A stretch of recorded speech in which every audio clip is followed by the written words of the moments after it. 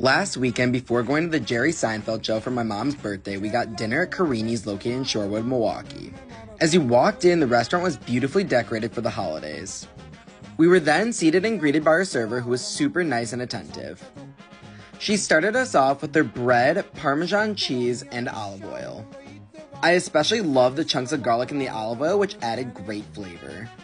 For my entree, I got Nona's Bolognese, which had a super creamy meat sauce that was delicious. My mom got the eggplant parmesan, which I got a bite of. It was super thin and extra crispy, which was amazing. I then took one bite of my bolognese, and wow, that pasta was so creamy and delicious. To have with my dessert, I enjoyed a decaf cappuccino. For my mom's birthday, they brought out a cannoli on the house with a candle in it. The cannoli shell was super crispy and the filling was creamy and smooth. I took one bite of the cannoli and wow, Carini's was an excellent spot to celebrate my mom's birthday and I will definitely be back again soon.